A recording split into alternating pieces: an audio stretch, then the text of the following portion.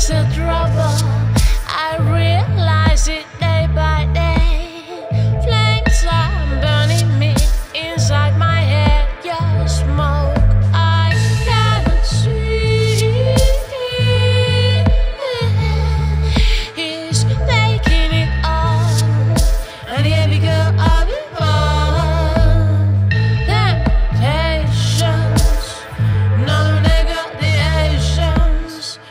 to purify, yeah.